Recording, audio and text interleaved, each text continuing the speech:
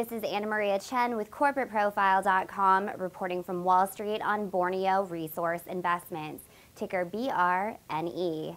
Borneo is a mining company that mines gold and develops producing gold mines as well as coal mining properties in Indonesia.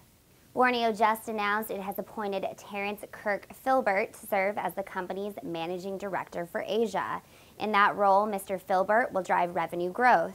Borneo is currently generating operating capital through gold mining operations and plans to repay certain convertible loans. Mr. Filbert previously served as the managing director of Big Blue Resources Holdings Limited, an owner of thermal coal mining concession licenses in East and Central Kalimantan regions of Indonesia and high-grade silica concessions in Central Kalimantan.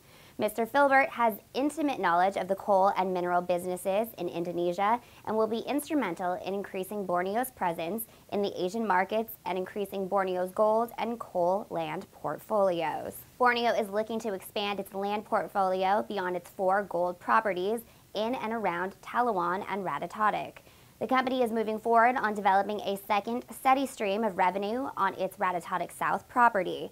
Borneo is currently near the end of its processing cycle at Ratatotok, and the ore-enhanced carbon will be moved from the site to the company's facilities in Manado for final processing. With the revenue generated in Ratatotok, the company plans to repay certain convertible notes.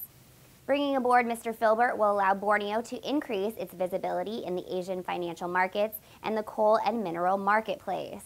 As Borneo grows with Mr. Filbert and its current management team, the company plans to generate an increasing amount of capital through their business operations and connections in the mineral markets in Asia.